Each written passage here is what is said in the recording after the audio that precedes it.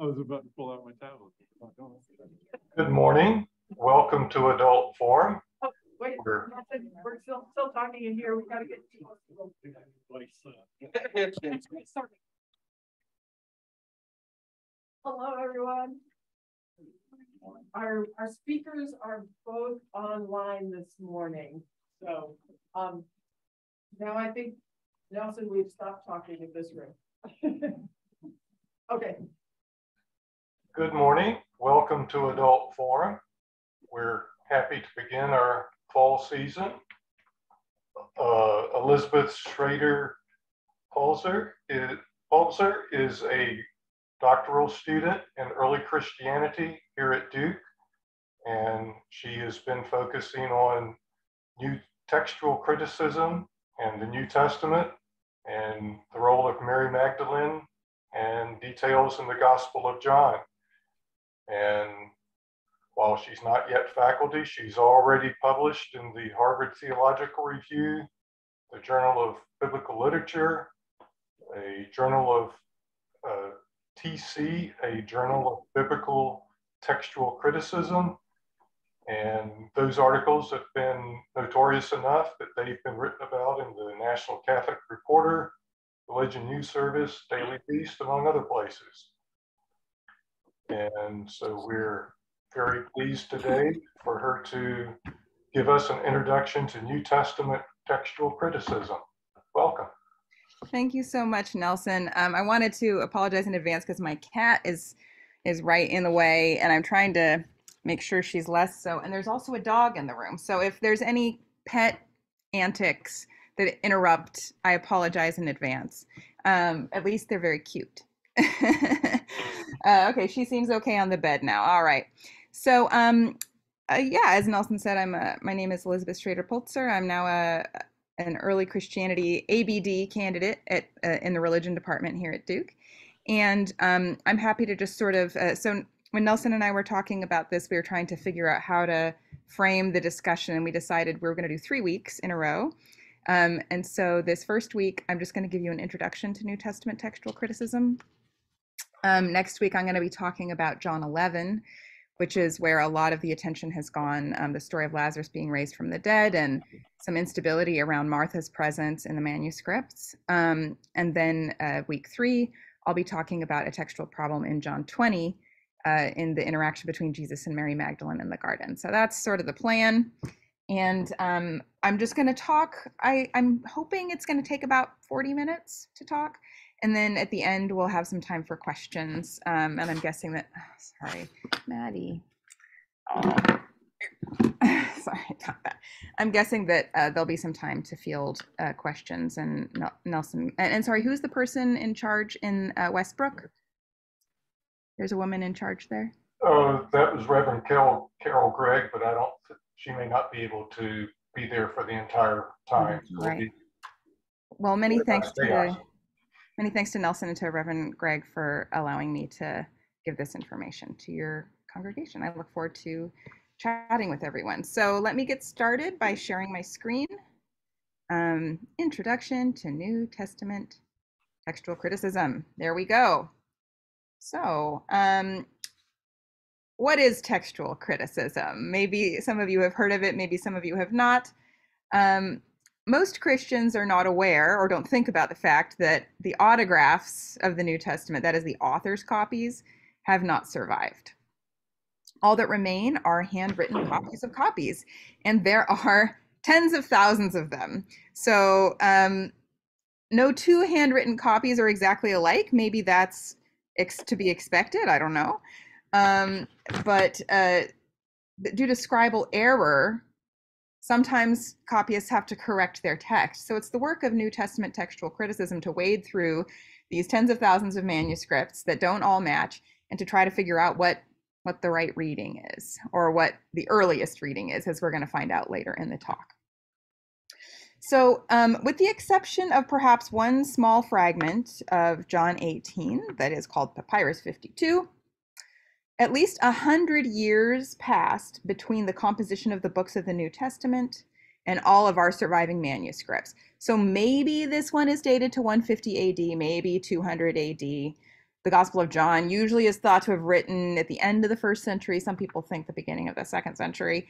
So maybe this small fragment, this small scrap of papyrus is dated to within 100 years of the author of the um, composition of the Gospel of John, maybe. But maybe it's over 100 years after the composition of the Gospel of John. And this is the only one that's even close to being that early.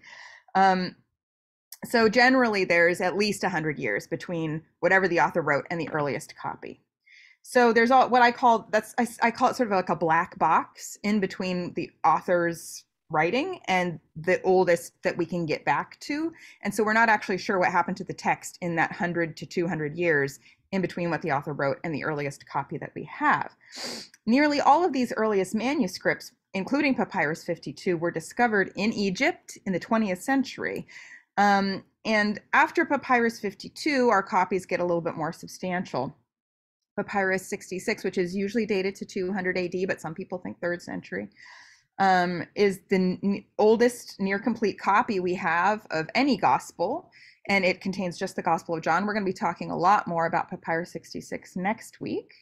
Um, it's held at the Bodmer Library in Cologny, Switzerland, and there's a couple pieces at the Chester Beatty Library in Dublin, Ireland there's over 450 corrections made to the text. So the scribe is copying it and then changing and correcting. Um, so, and that's the oldest copy that we have. So of, of John's gospel. That's an interesting one. Um, papyrus, oops, sorry, I meant to show papyrus 46, but I don't have a picture of it. It's the oldest copy of the letters of Paul. I'll talk about that in a second. Um, and then, of course, there's the books of the Old Testament that have an even more obscure history of course, does anybody know what the oldest copies of the Hebrew Bible are? I'm guessing you know. They are the Dead Sea Scrolls. Dead Sea Scrolls. Yeah. Yes, yes, that's right. Thank you, John.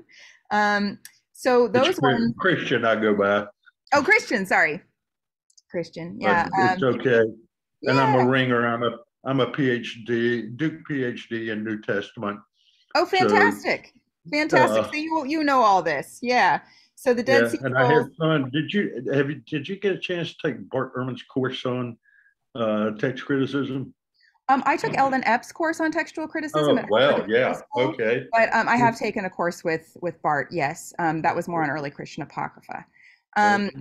well, so yeah, Bart is on my committee. Don't worry, Bart's got his eye on me. Bart Bart Ehrman is on my committee and we'll talk about Bart as the as the presentation goes on. So, um, okay. as I'm sorry to interrupt. Yeah, that's all right. So, as Christian said, um, the Dead Sea Scrolls are the oldest uh, copies of the Hebrew Bible, and they were copied 500 to 900 years after the Old Testament books were written. So there's these blank spots, these black boxes in the text transmission of all parts of the Bible, and we can't actually be sure what happened to the text in those time periods. We also know that very few people were literate in the first and second centuries. Many stories about Jesus were instead being memorized and performed orally at that time.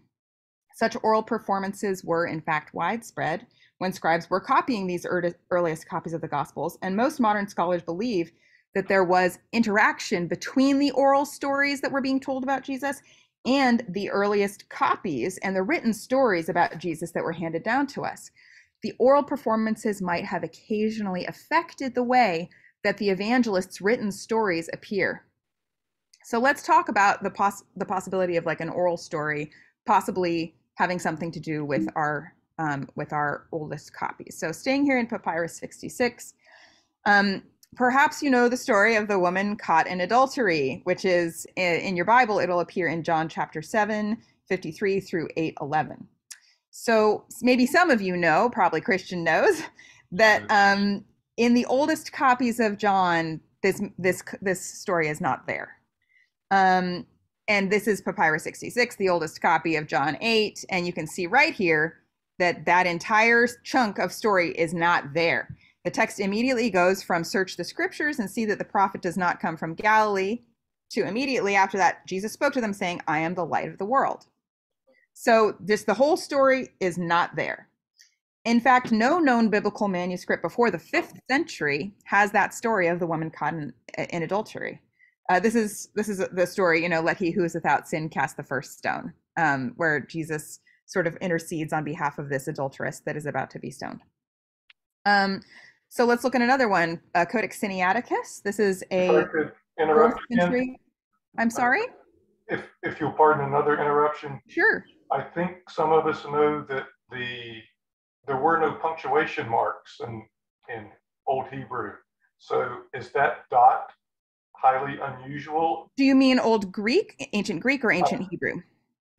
in manuscripts of this time? There was not- there was not punctuation, I thought. There's there's there's not generally punctuation. Papyrus 66 actually has a lot of punctuation marks in the um the Last Supper, uh, which suggests that in that specific portion of Papyrus 66, it was read aloud. Um, and actually maybe used in liturgy. So there's like little teeny parts, but in general, and you can also see there's like a little punctuation mark here. And sometimes there's dots sort of in between sections. Some people, I would say, people who are not that, um, uh, not the most trained text critics, would try to argue that this dot is telling you that the that the story of woman caught in adultery was removed from Papyrus 66. But if you look throughout Papyrus 66, these dots usually indicate, okay, like there's a break in the story, or like a, you know, it's just sort of like it's sort of like a pause. There are some teeny small punctuation marks that you find, but there's not. See, there's another one here in Codex Sinaiticus, right? But they're they're usually just sort of like paragraph breaks. You could kind of you could um you could uh describe them that way. But as you can see here in Codex Sinaiticus, which is the fourth century, not much punctuation going on. Occasionally these little dots, or maybe it's sort of the ends of sentences or places where people would pause. Um, but it's not really a punctuation mark. Um, so uh, let's see here. So here in Codex Sinaiticus, if you want to go to codexsinaiticus.org, you can find out more about this extremely wonderful manuscript. It's fourth century. Again, the story of the woman caught in adultery is not there. And here we've got this nice English translation you can see again. Out of Galilee, a prophet arises not. Again, Jesus said to them, saying, I am the light of the world. So we get the same thing. It's and the dot is actually in the same place. Um, where there's no story of the woman caught in adultery. So sometimes this story even shows up at the end of the Gospel of John. Um, Duke actually has a manuscript where this is the case. This is the very last leaf of Duke Greek manuscript number six, which is copied in the 11th century. And you can see it's the very last uh, page of this gospel manuscript, and it appears at the very end. It's not just like Codex Sinaiticus, it's not there in the story uh, in John 7 and 8, but you do see it at the very end of the manuscript. So the scribe sort of, it's got this sort of liminal status where you recognize, okay, this maybe this story should be in our gospel, but I don't know where to put it. So they just put it there at the end. It also shows up sometimes in the Gospel of Luke. In minuscule 124, Jesus is, it's a different story of Jesus in the temple. It's in Luke's gospel. So it says every day he was teaching in the temple. At night he would go out and spend the night on the Mount of Olives. All the people would get up early in the morning to listen to him in the temple. And then you see John 7 53 here. And then we get the story about the scribes and the Pharisees bringing a woman who's been caught in adultery. Oh my gosh. All right. So the story of the woman caught in adultery in for this 11th century copyist congregation, the story of the woman caught in adultery was in the Gospel of Luke, not in the Gospel of John. For this 11th century uh, copyist and congregation, it wasn't in the Gospel of John, but it was at the end of the manuscript. For this fourth century copyist, it wasn't there at all. All right. So it's for reasons like these that most biblical scholars no longer believe that the story of the woman caught in adultery was written by the author of the fourth gospel.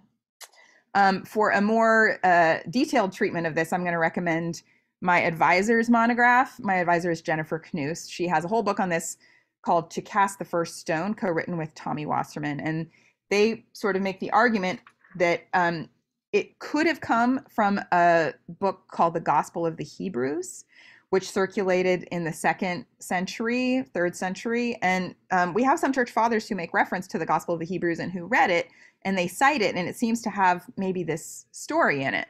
Um, but uh, the Gospel of the Hebrews was not accepted into the biblical canon. And we don't have any copies of the Gospel of the Hebrews. We just have people talking about the Gospel of the Hebrews and referencing this story. It's possible that this particular story was so popular that when the Gospel of Hebrews was suppressed or not accepted into the canon, they said, but what about that one story? We like that one story. So this story, they they tried to kind of slip it in to more accepted gospels like Luke or John, so that the story itself wouldn't be lost. And the, the words, let he who is without sin cast the first stone, may be a true saying of the historical Jesus. That is absolutely possible. It's also possible that this was, as I was saying, an oral story that was circulating. There are actually a lot of textual variations within the text transmission of the story of the woman caught in adultery. So um, it's possible that this it was an oral story or it was in the Gospel of the Hebrews, and it just found its way into early manuscripts um, starting in the fifth century, and then it sort of made its way into the entire text transmission. But because it wasn't probably authored by John, the author of John's Gospel, um, many Bible translations, like the New Revised Standard Version, which maybe you have, put this story in brackets. It will show up if you're reading your Bible and you're reading your Gospel of John, and then you see this story showing up in brackets. You're saying, why are there brackets around this story? Now you know the answer. And that's the sort of editorial decision that um, these Bible translators have made. They they don't want to put it in the footnotes or get rid of it completely because people love the story so much. That's really the reason why. People would be very upset if you took the story completely out of the Bible. So, because it's pervaded the entire text transmission and because it might really be something that actually happened, it might be a true story of Jesus. The solution for many Bible translators is just to keep it there in John's gospel, but put it in brackets to indicate that it was not authored by the fourth evangelist. So, another of the most striking differences uh, in our gospel manuscripts is the conclusion of the Gospel of Mark. So, here we are back at Codex Sinaiticus, that nice fourth century manuscript. The most ancient copies, again, do not mention any resurrection appearance from Jesus, um, the oldest copies we have of the Gospel of Mark. Instead, it says that the women fled from the tomb. Terror and amazement had seized them. They said nothing to anyone, for they were afraid thing. That's the end of the gospel. It ends at Mark 16 8. Um, for early readers of these manuscripts, maybe that seemed like a very awkward and anticlimactic ending. But most of the later manuscripts of Mark do include verses 9 through 20. So this is a 13th century manuscript. Um, this is these are resurrection stories about Jesus that have probably been influenced by other gospels. So he appeared when it says he appeared first to Mary Magdalene, that suggests that this person knows John's gospel, from whom he had cast out seven demons. That sounds like Luke's gospel. Um, when they heard he was alive, they would not believe it. That again sounds like Luke's gospel. He appeared to in another form to two of them as they were walking in the country. That sounds like the road to Emmaus, again, Luke's gospel. So this chunk of Mark's gospel, verses 9 through 20, most people think was maybe authored in the second century by someone who heard those other gospel stories. Um, but it has more satisfying content because the resurrected Jesus actually appears. So the majority of later copyists of Mark's gospel have incorporated the long ending into Mark. Um, there's also a shorter ending of Mark. This is in Codex Bobiensis, which is fourth or fifth century, and it has a different ending to Mark's gospel. All that had been commanded to the women, they told briefly to those around Peter. Um, and afterward, Jesus himself sent out from east to west the sacred and imperishable proclamation of eternal salvation. So that's a different ending to Mark's gospel. So you can see that there's actually three endings that we know there's the short ending, the long ending, and the shorter ending. Sorry, the, the you could say there, there's just the ending at 16.8, the long ending, and the shorter ending. There's actually also the freer Gospels, Codex Washingtonianus, which is fifth century, has a different version of the long ending. And there's all these other variations um, of the ending of the Gospel of Mark throughout the text transmission. So uh, that I don't need to get into because it's very complex. So these different endings to Mark's Gospel raise an important question. What should readers of the Bible consider to be the correct conclusion of the Gospel of Mark? The style of this short ending is very different from the rest of the Gospel. The long ending shows obvious familiarity with Luke and probably John, but it's written but those were written after the gospel of mark probably. So neither the short nor the long ending can be considered original to the gospel. Does that mean that mark's gospel should end right here at 16:8 with the women fleeing afraid and jesus doesn't appear? Or do all the endings have value because they give us a window into debates that early christians were having or Could there have been another more controversial ending to Mark's gospel that was omitted at a stage of the text transmission? Or is it possible that Mark didn't finish his gospel? Maybe he you know got sick or something and or maybe the end of the scroll like the last scroll that he wrote was lost we don't know the ending of mark is one of the most uncomfortable questions for those who want to know what the correct text of the bible really is. So let's look at some more manuscripts of the new testament. Um, the oldest copies do not reflect the text of what is in your bible today in other ways sometimes. For example i was telling you about papyrus 46 which is the oldest copy of Paul's letters, usually dated around 200 AD. Um, it, uh, according to its, its codex construction, it does not have First and Second Timothy and Titus, known as the pastoral epistles. So this late second century person who's putting together, like, okay, I know I found all Paul's letters and I'm going to put them into a book and I'm going to sort of make an edition of Paul, like this is the Paul Codex. Um, these this person didn't seem to think that first and second timothy and titus were authored by paul or maybe they didn't even know those letters um, there's also papyrus 72 third or fourth century where first and second peter and jude are bound up with some texts that are certainly not considered biblical today like the nativity of mary from the protevangelium of james an ode of solomon a sermon by melito of sardis. Um, so uh, it's possible that this third century person who's putting all these texts together into this codex, it's called the Bodmer Miscellaneous Codex, they did not necessarily think that First and Second Peter and Jude had the same level of authority of Scripture as they might have given to the epistles of Paul or to the four Gospels. They might have said, "Oh, this has about as much authority. First and Second Peter and Jude has about as much authority as the Protevangelium of James." Or else it's just sort of a miscellaneous codex it's it's you can just see that if you go back to the earliest manuscripts that we have a lot of things that we take for granted are showing up in unexpected ways in these manuscripts. You're not necessarily seeing what you expect to see. Let's look at some more variations between readings in the manuscripts. Sometimes these variations can come down to a single letter. So let's go back to that exact same picture of papyrus 66 this is that spot where um, the pericope of the adulteress is not there. There's this really interesting erasure happening here on the very first letter. So um, the scribe originally wrote this. This letter is an omicron, um, which is the masculine nominative article. It sounds like ha, and it means the. Means the in it's the masculine form of the. So um, the scribe originally wrote the prophet does not come from Galilee. But when the when the scribe erases that letter, um, if there's no definite article, there's no like the, then in Greek it's just a prophet does not come from Galilee.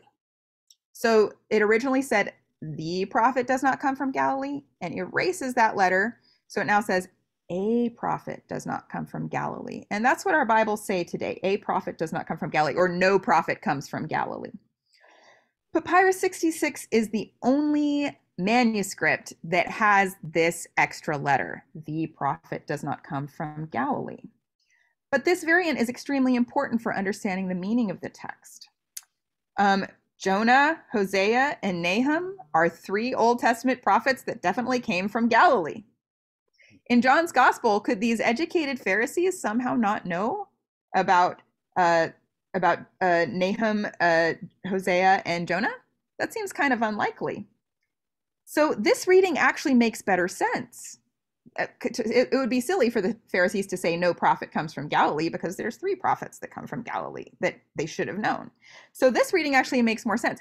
The prophet the Jewish Messiah supposedly foretold in Deuteronomy 18:18 and Micah 5:2, that would have been a totally different matter for first century Jews.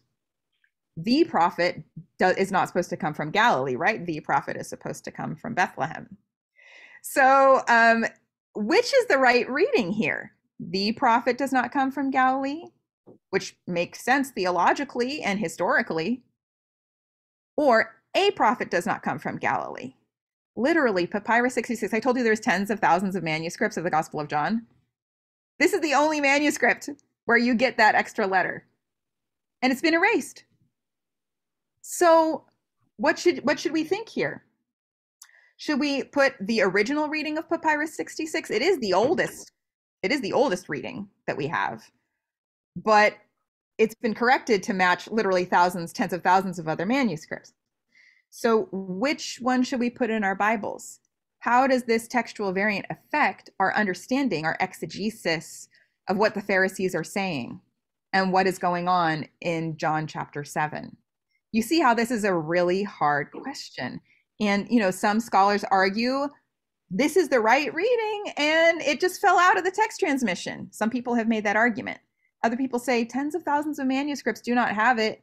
And that's, and maybe the scribe of Papyrus 66 was thinking, oh, you know, this is dumb. They should definitely be saying the prophet, not a prophet. So maybe the scribe was trying to correct John because John was mistaken, but then said, oh, you know, I shouldn't do that, and then erased it. It's, it's, we don't know. You can make an argument either way. So this is a tricky one. Here's another important uh, textual problem. It's, it's called the Johannine comma. This is in First John chapter 5. Um, the vast majority of our Greek manuscripts do not have this piece. Uh, there's there's there's this extra piece in most Latin manuscripts. It says there are three that testify in heaven: the Father, the Word, and the Holy Spirit, and these three are one.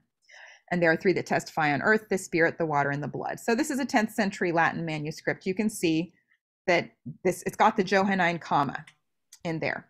But the oldest manuscripts going back to Codex Sinaiticus, I use this one because it's it's got it highlighted in red for you. Um, so Codex Sinaiticus, those words are not there. Um, but you will see in early copies, like, sorry, in early uh, printed translations, like the King James Bible, you are going to get these words in there. Um, so the King James Bible was responding to the to sort of the vast majority of what was what was in the Latin manuscripts because people were used to it. And when you read First John, there's this extra part. There are three that testify in heaven: the Father, the Word, and the Holy Spirit. And then when you go back and you start looking at these old manuscripts, much older manuscripts, you know, fourth century, and it's not there, that was considered sort of disturbing for some early text critics because this is theological. Um, it has to do with the Trinity and saying that the Father, the Word, and the Holy Spirit are one. So Bible scholars have concluded that these words were probably added by a Latin editor, maybe as early as the fourth century. During that time, which was long after the books of the New Testament had been composed, there were many heated debates happening in Christianity. Anybody that's gotten a divinity degree or certainly a PhD knows that the third and the fourth century, there was massive conversations being had in Christianity about correct doctrine, third, fourth, fifth century. So it is quite possible that a Latin copyist who wanted a portion of scripture that proved the unity and full divinity of all three members of the Trinity, some copyists just decided to add it. Then you can say, oh, look, there is a part of scripture that says that all these three are one and they have equal divinity. Because that was, I think that was the Council of Constantinople in 381 CE, fourth century. That was like one of those big conversations is the Holy Spirit fully divine like the Father and the Son. And so when this conversation was happening, it's just easier if you have a manuscript of scripture that says that, even if you're adding it in the fourth century and the letter was written in the first century. So um, this Latin copyist might have wanted a portion of scripture to prove the unity and full divinity of all three members of the Trinity. And this phrase was accepted into the majority of Latin manuscripts, along with the acceptance of the doctrine of the Trinity. But there is no manuscript evidence for this piece. It's called the Johannine comma before the time of the heated debate, right? Codex Sinaiticus was in the fourth century. Um, so most modern text critics think that the words were added later. So it seems to be an attempt to resolve that fourth century debate. So someone might have tried to slip in a later theological doctrine to the New Testament retroactively.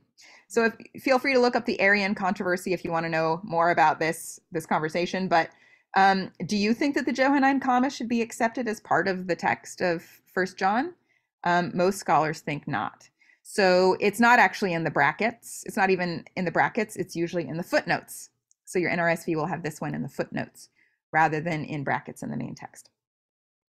So that's sort of a survey for you of what textual criticism is and why it matters and how it affects the outcome of our Bibles and how Bibles actually do change over time.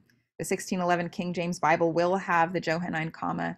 Your NRSV will not have the Johannine comma because we now have manuscripts like Codex Sinaiticus. This one was discovered in the 19th century, um, and Codex Vaticanus, where it's just not there. So the text of Bibles does shift over time.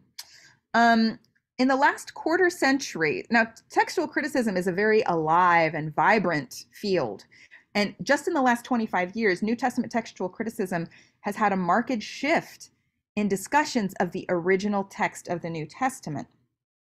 In the 20th century, most text critics assumed that the object of textual criticism is to recover the actual words written by the author. Maybe that's what all of you, maybe that's what seems most obvious to you, most intuitive. What's the point of textual criticism? Well, we're going to recover what the author wrote.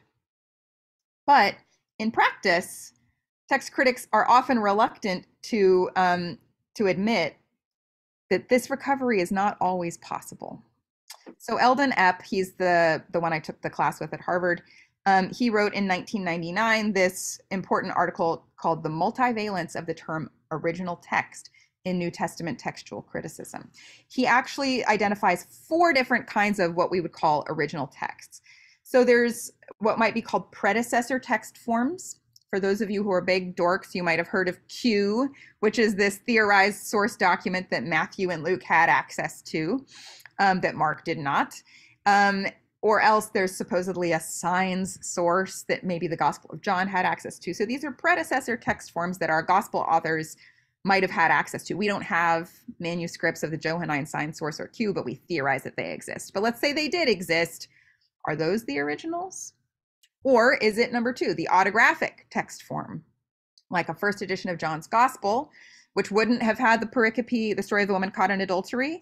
And also, John 21 is often thought not to have been.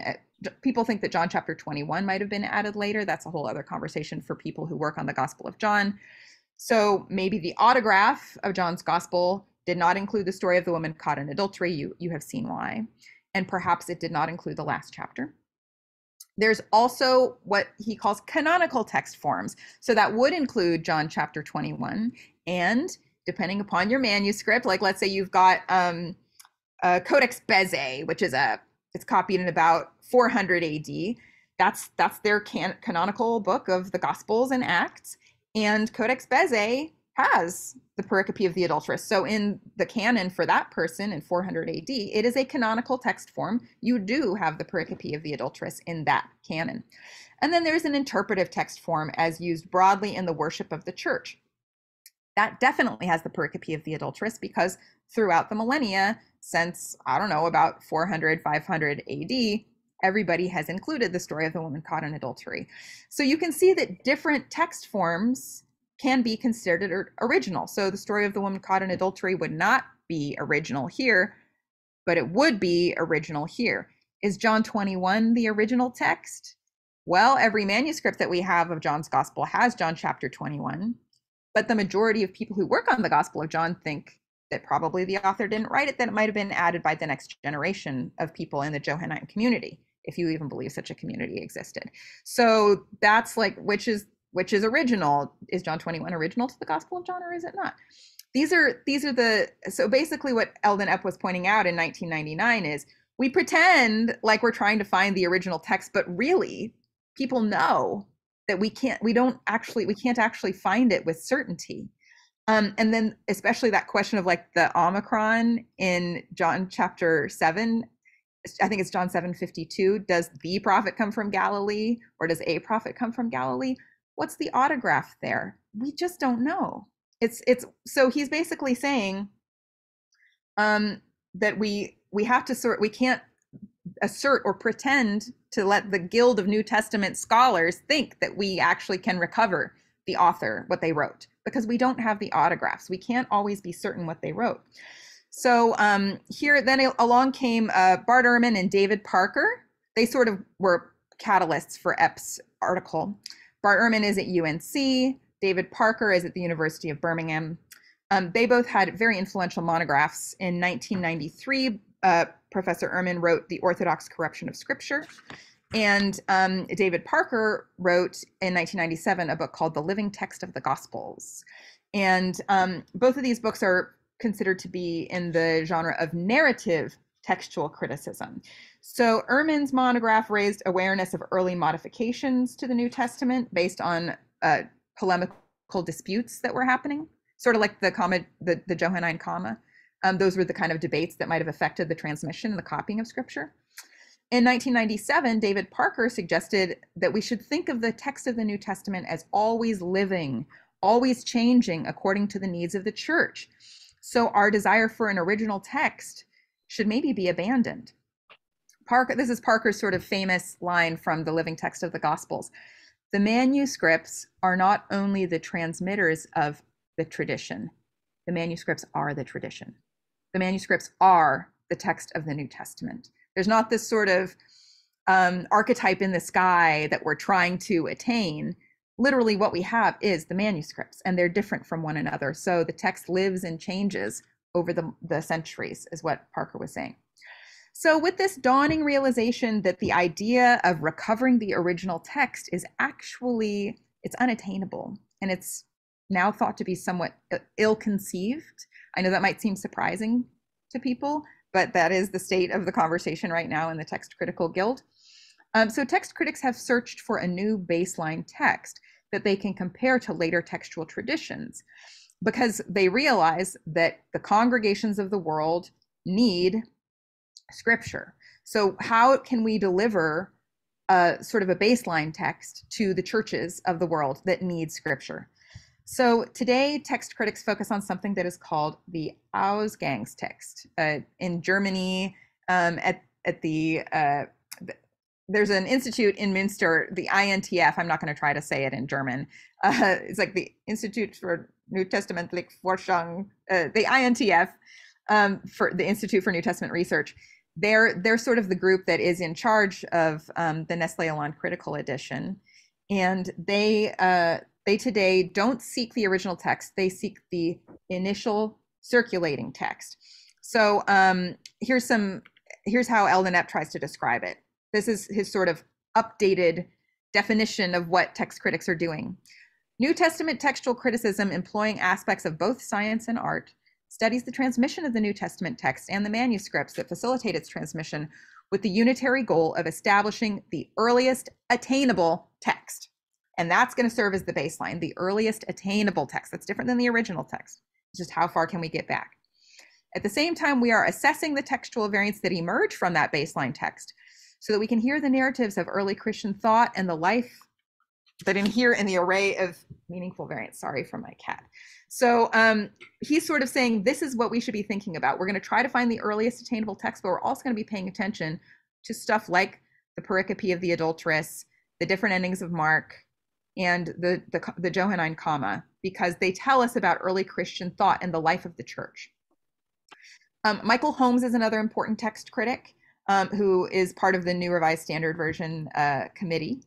He says that this concept of the initial circulating text or the Ausgangs text, it is empirically grounded because it seeks to determine the archetypes from which our evidence derives, but it's also open ended. We, we could try to move beyond the archetype to the initial text. And so, so we're not trying to like find the, the original, but we're, we're moving to this initial, to as far back as we can get.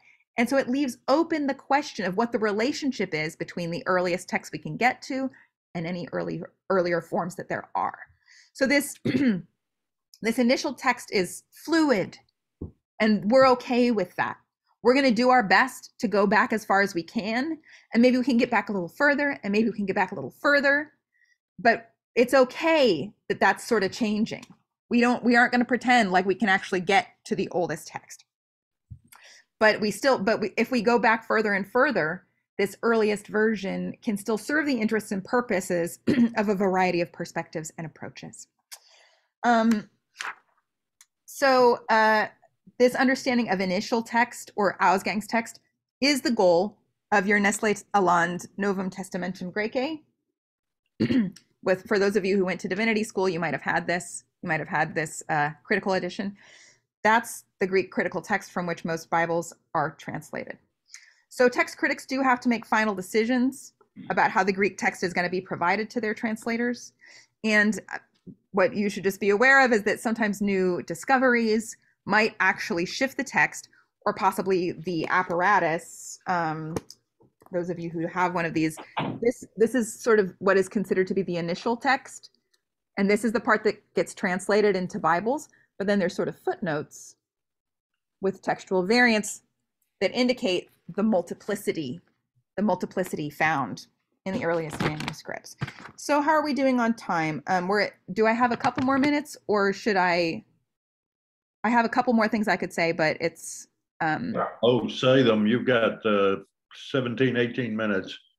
okay because I want to have time for discussion as well. Okay, good. But let me um, okay so i'll just go a little bit also into the versions which are important so um, well actually ancient greek manuscripts are not the only places that text critics can look to find out about the new testament there are some really important second third and fourth century church fathers who wrote prolific commentaries and sermons about sacred scriptures justin martyr irenaeus of lyon Clement of Alexandria, Tertullian of Carthage, Origen of Alexandria, Eusebius of Caesarea, John Chrysostom. For those of you who went to divinity school, you might know those names. They're not as widely known as the gospel writers, but they were tremendously influential in the eventual formation of the biblical canon and in how Christians have ended up interpreting the New Testament. So these church fathers, their writings are directly, uh, they often are citing their biblical text as they write. But strangely, sometimes a church father's, the way that they quote the text, does not match the text of the Bible as it has come down to us. So, this is an example I often cite, which will be directly relevant for our conversation next week. Tertullian of Carthage, who's very old church father, uh, not old as a guy, but old like a long time ago. In around 210 AD, he wrote against Praxeas, which was sort of a um, an apology against a guy named Praxeas who didn't think Christianity was good. So he says Mary confessing Jesus to be the Son of God. Um, every manuscript of Against Praxeas has the word Mary here, but um, in your Bible and all the manuscripts of John says that Martha said, "Yes, Lord, I believe that you are the Christ, the Son of God, the one coming into the world." Um, so every since every manuscript of against praxeas says mary here those who have edited this say oh well, tertullian seems to think that mary gave the confession. But every gospel manuscript says that it's martha so which one do we pay attention to which one and we'll talk more about this next week but you can see that it's little sort of glitches like this in the text transmission that raise the question well you know tertullian was writing you know 75 to 100 years before the oldest copy that we have of this story. Um, or sorry, no, around the same time. He's writing around the same time as Papyrus 66. He's writing around the same time as the oldest copy that we have. And his version of the story says something different than what the entire text transmission says. So do we give weight to what Tertullian said? Or do we give weight to the tens of thousands of manuscripts? It's sort of similar to this question of the ho prophetes. Do we say the prophet or a prophet? Like, do we give more weight to the oldest thing that we have and also maybe tertullian just his he had a slip of his memory maybe tertullian just remembered it wrong right? But it's still the oldest one that we have well, what's the oldest manuscript of tertullian? Well those are medieval. Yes the oldest manuscripts are indeed medieval which makes it even stranger. It's even stranger because you would think that someone copying in the medieval era would know that Martha's the one that gives the confession. So the fact that literally every single manuscript of Tertullian says Mary suggests that Tertullian probably wrote Mary. And so that's why the editor says, you know, it seems that maybe Tertullian thought that Mary gave the confession. But that's weird. That doesn't make any sense. We don't have any manuscripts that say that. So this is these are the sorts of questions that are raised by church fathers. Um, so which is more trustworthy, the, con- the consensus of thousands of manuscripts or Tertullian's ancient version of the story. Should we give weight to what Tertullian wrote, or should we just say, oh, his, he had a slip of the memory? This is just one of dozens of examples of strange things that church fathers say that don't match what our Bible says. Um, text critics also pay attention not just to church fathers' quotations, but also to the versions Um, that is translations into Old Latin, Old Syriac, and Coptic, because of course the New Testament was written in Greek. But we've got very old copies going back to the third and fourth century of Latin, Syriac, and Coptic copies. Okay. So some of you might know that in the fourth century, St. Jerome was commissioned by Pope Damasus to make uh, a standard Latin translation of the Bible, and that came to be known as the Vulgate. So he was translating both the Hebrew and Greek copies into Latin, and that became the standard translation of the Catholic Church for over a thousand years. But before Jerome did that, there were, um, you know, Jesus was a popular guy, and people were translating the Bible from Greek. They were translating the New Testament and the stories about Jesus from Greek into Latin for a couple of centuries before Jerome did his translation. So in the second century, somebody was copying what they were translating the Greek into the Latin. They weren't as erudite as a scholar as St. Jerome was, but there were these translations that were made based on second and third century copies. So um, they they would be superseded by Jerome's Vulgate, but even today we still have about two dozen gospel books that survive in the old Latin. So these manuscripts, they are Latin translations of second and third century Greek copies. they display differences from Jerome's later Vulgate translation. So again, which do we pay more attention to? So this, let's say that you have an old Latin manuscript um, that that that says something different from what your Greek text does. We'll talk again more about this next week. You can say, well, it's a translation and the person was not very erudite. But the thing is, is that whoever that translator was, they had a second century Greek copy in front of them, which we don't have. We don't have any second century Greek copies of the gospel. And this Latin translator did.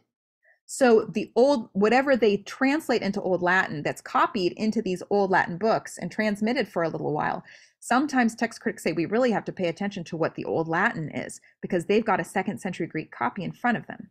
But again, which which do you pay more attention to? The the the you know the what the Greek copies say because that was the language of composition, or what this Latin copy says that maybe the Latin copy is from the fourth century, but the translation was done in the second century when there was a second century copy that is lost to us. You can see how it's complex. Um, there's also a really important fourth century manuscript of the Gospels called the Syriac Sinaitic Palimpsest. And there's a wonderful book about the discovery of it and the translation by a Duke professor, Janet Soskice. I highly recommend this book, The Sisters of Sinai, and it talks about this incredible manuscript, which again, probably the translation was done in the second or the third century. The copy itself is the fourth century, but there might be older readings retained in this Syriac copy of the Gospels, even though it was translated from the Greek. And so sometimes um, text critics have to pay attention to what the Syriac and the Old Latin and the Old Coptic say when they're trying to figure out what that initial circulating text was. So even though these versional manuscripts were not written in the original language, they do occasionally preserve an older version of the gospel text than even our oldest surviving manuscripts. So overall, I want to emphasize to you, I hope this hasn't troubled you too much. the main thing I want you to know is that overall the text of the New Testament is fairly reliable. What I've highlighted today are some of the exceptions. Um, so basically just know that text critics work really, really hard. There are teams of some of the most intelligent people in the entire world who pay attention to all of these details that I'm bringing to your attention, and they deliver to your Greek critical editions their best and most educated and um, measured judgment on what they think the text is. They're not going to say we found the original text. They have let go of that. They're saying we are doing our best to find the earliest circulating text, and they're giving that to us for our use in the churches, while also saying we can't be certain what the author wrote all the time. But most of the time, we're pretty, like, you know, 95% of the time, we know, like this is, or maybe even 98% of the time, we are okay. We know what, the author wrote here. It's, you know, the, va- the variations are mostly changes of word order or synonyms, or, you know, there's an accidental slip. That's the vast majority of, of the changes. I've just, I've just called to your attention the most, some of the most important ones that do kind of affect the outcome of how we interpret our New Testament. My own work centers, um, thus far, I have worked a lot on John chapter 11, which we'll be talking about next week, and John chapter 20, which is the encounter between Jesus and Mary Magdalene in the garden. My dissertation actually is going to be writing about dozens of these sorts of problems. Um, but uh, we'll be talking next week about John 11 and the week after that, John 20. So I am now open for questions. And I think we have a little bit of time left, maybe 10 minutes left. Um, we've just been uh, finished a study on Acts Hmm. uh, in this time, and um, I wonder if you would the the Western text or Beza text Mhm. of Acts is substantially different uh, Yes. from the the uh, other textual families. So I'm Yes. wondering if you uh, have any uh, uh, what you would comment on that. Well, I my work centers in the Gospels, and part of the reason that I've done that is precisely because the text of Acts is so problematic.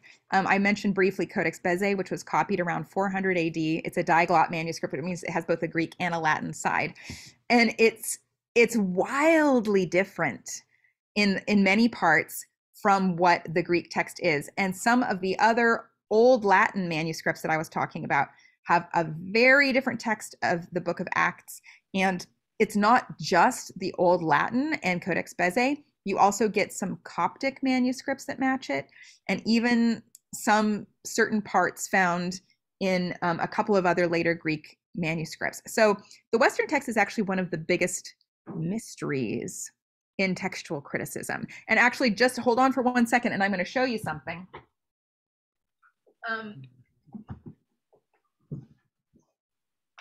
so uh, that group in Germany that I was telling you about, they tackled the text of the Acts of the Apostles, and they recently came out with an Editio Critica Maior, which contains all of the problems of the text in the Book of Acts. This is their edition of the Book of Acts. It's over a thousand pages long. That's how problematic the text of the Book of Acts is.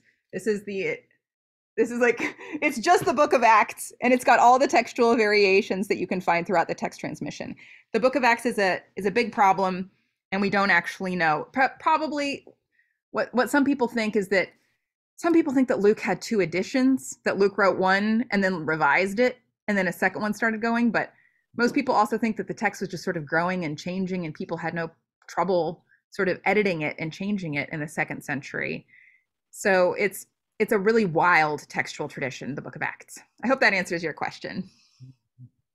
Okay.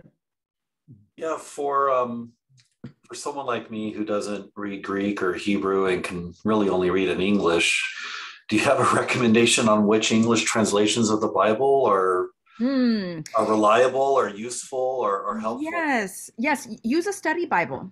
That's uh, you know, there's the um. This is always a good one. The Harper Collins Study Bible. This is a nice one. It's nice and you know you can carry it around with you, and um, it's a a really good study Bible will always have notes. So um, like you'll see here, this is in uh, well, here's Esther, but it says other ancient authorities lack the words to Ethiopia. Okay, that tells you that the manuscripts differ there. Or um, other ancient authorities lack the word kneeling in the Gospel of Mark. So you, you'll just look for this other ancient authorities add or lack. This is a, a really responsible study Bible that if you look in the footnotes, it'll tell you what the textual variations. Are there any particular translations, modern translations that are that are useful? Well, um, the first thing I want to say is that every translation is an interpretation. People always say, oh, these were inaccurately translated. And I'm like, no, no, no. It's just that this translator had a different interpretation than that translator. Every translation is an interpretation. So I I mean, you should just sort of know like whatever whatever church you're affiliated with, you can see what the recommended um, Bible translation is for your church. So uh, I'm a member of the Episcopal Church, and we usually use the New Revised Standard Version. Some more conservative churches use the English Standard Version. There's also the new, the New International Version. Um, Catholic churches use the New American Bible. So um, I would just trust whoever, like whatever your church is that you go to, you can just look at the translation that's used by your church and you will see that certain like for instance the english standard version some people get really angry because they'll they'll be focusing on um, translations that some people think are androcentric. But of course the biblical text is androcentric. Paul will say my brothers like brothers brothers brothers.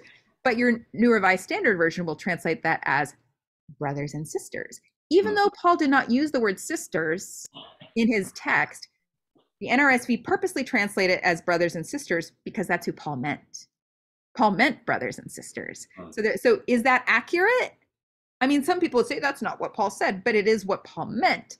So, so um, I would say, I mean, I use the NRSV because I'm an Episcopalian, but the New American Bible is a good Catholic translation, and different denominations use different translations. Thank you. A comparison that a few of you may have heard me make decades ago is imagine if for people who live in the US, the oldest surviving copy that we had of the Declaration of Independence and our Constitution dated from the middle of the Civil War or some horrible period of failed mm. reconstruction. And I was sharing this observation before such entities like the Federalist Society and originalism at the Supreme Court make it even scarier. But uh, that's a, an interesting context. I liked today how you pointed out how there were controversies in the church Mhm. at the time. You know, we frequently we, we think about church history on one hand and the text is this fixed object on the other. Well, one thing you said today, I, I had frequently thought of the differences as being copyist errors that, you know, you look at text A and text B and they differ, but you pointed out where there are cross outs and erasures by a given scribe, Mhm. the thought crossed my mind are there any instances where some of this might be viewed as vandalism? You know, a different color of ink. I sort of doubt there's any way to say, oh, this got scratched out 200 years after it was written. Well, we'll talk about that next week. next week, I'll I'll be talking about a possible instance of that. Um, by the way, I wanted to say what an incredible analogy that is that you said about the Declaration of Independence. We do, I believe, have the original copy of the Declaration of Independence. We have the autograph, which is great. Imagine if we didn't have the autograph and a copy from, as you said, you know, 100 years later or 200 years later, and they all differed from one another. How would you reconstruct what the original said? You would have to know what the controversies were at the time and try to sort of i might use that analogy if i have your permission. That's such a great analogy. You would try to say well we know these were the conversations that people were having at the time of this copy. And so you try to say well which one do we trust? You kind of go back to the one before it that is the one that would have been changed. Um, as for the you know and actually there's this text critical rule um, the most like trust the re- the reading that is the, the most difficult reading is the one to be preferred. Prefer the most difficult reading because that's the one that people would have changed. They would have changed the version that was the most difficult to handle. So a lot of times this maxim of textual criticism is go with the most difficult reading. Um, and yes, there are instances, I mean, some people would say that the Johannine comma is vandalism. And it's in the vast majority, it's like in nearly all of the Latin manuscripts. They've said Mhm. somebody has altered this text. They've made it say what they want it to say in the fourth century. They want a Trinitarian doctrine. you could say that that's, but scribes are human. Copyists are human. Editors are human. And um, so this, our manuscript tradition is an interaction between, it's a human encounter with the divine, you could say. Just uh, uh, one or two more things. Uh, the longer ending of Mark Mhm. uh, is the fact, if you read that ending, it has the passage about how followers of Jesus will pick up snakes and uh, not be harmed.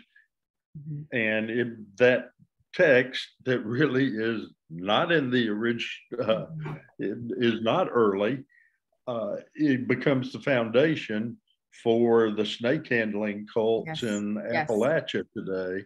Yes. Uh, so there, there's, yeah, there can be some bad theology in uh, text criticism. The other thing, Elizabeth, I want, if if we found an autograph, how would we know it's the autograph? Good point. We wouldn't. We wouldn't actually know. But if it were something that was dated to the first century, supposedly we could figure that out paleographically. Um, but not, I mean, but all of these manuscripts, like the oldest ones, like Papyrus 66 and Co- and Codex Vaticanus, um, they are mostly dated paleographically, which is an inexact science. I mean, there might be some people today whose handwriting is similar to the way that people wrote it a hundred years ago, and then you would you would accidentally date it to the um, 20th century when it really should be dated to the 21st century, right? Like paleographic dating is inexact. It's in it's an inexact science, so we don't actually know always what the dating is. But um, if something were like that first fragment I showed you, Papyrus 52, its handwriting style is older. It's more of a second century handwriting style than any of the other copies we have of the New Testament. So basically, we're basing it on the handwriting. And um, some handwriting style is a little older, and that's the best we can do. I wanted to make sure that people in the room in Westbrook got a. qu- I know we're past time, but if if there was anybody in Westbrook that had a question, Um, I was wondering if you studied in the root, studied the text in the root languages, in diverse languages, the root languages. the root languages. Greek is the root. Gre- Greek is the language of composition. So did you study the, the text in Greek or? Yes, I mostly study the Greek manuscripts of the New Testament. Yes. Um, the vast majority of textual criticism is done in Greek. Um, but at the very, just that little tag I put on at the end are the versional manuscripts. I hope I understood your question. It was a little difficult to hear. The vast majority of the work that I do, I don't look at, I don't look at Bible translations for my work. I look at the manuscripts in their copied language, which is the ones I was showing you at the beginning, Papyrus 66, Codex Vaticanus, Papyrus 46, Papyrus 72. Those are all in Greek and um, I would look at it in Greek. And then I, I'm also curious, like when you look, Can you speak up just a little bit or maybe go closer to the microphone? no idea where the microphone It's up there. Oh. So you have to either holler or you have to go through. Can you hear me now? Yes, that's that's better. Okay. Um, so I'm wondering with the, um, I'm wondering with the manuscripts, where you actually, like, did you actually physically see any of the manuscripts or did you just do research online to be able to assemble all- the research that you The vast majority these days is done online because um, people care about the New Testament, and all of these manuscripts have been digitized. I do sometimes work with real manuscripts. Duke has a wonderful collection of Greek manuscripts, and I have done some work on the 11th and 12th century Greek gospel manuscripts held by Duke, like the one that I showed you with the last page of John chapter 21. Uh, sorry, with the last page of John has the story of the woman caught in adultery. I have held and looked at that manuscript. Um, but you know, the vast majority, like you can't travel all over the world. Like Papyrus 66, nobody gets to look at it because it's so fragile. Codex Washingtonianus is at the Papyrus 66 is in Geneva. Uh, the Freer gospels are at the Smithsonian, and they just put them in a vault. And they took pictures, really good pictures, and then they hide them. Nobody gets to look at them because the more time you spend with them, the more the manuscript might deteriorate.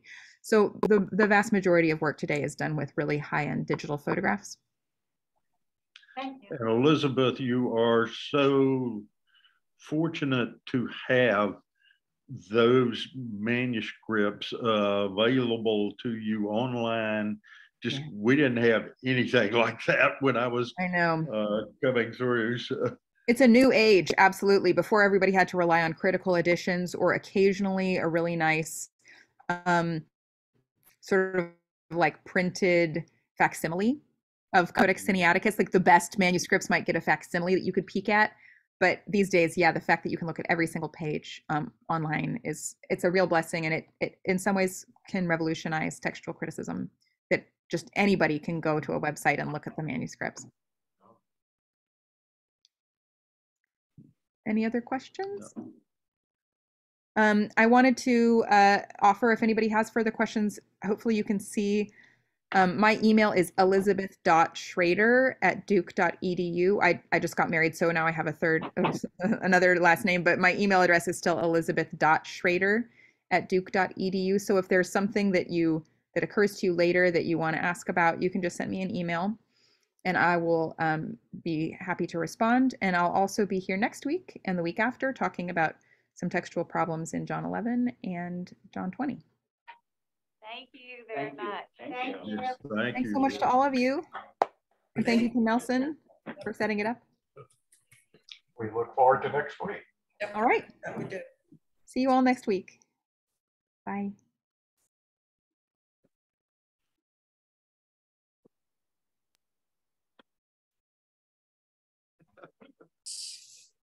Things I wanted to read, so.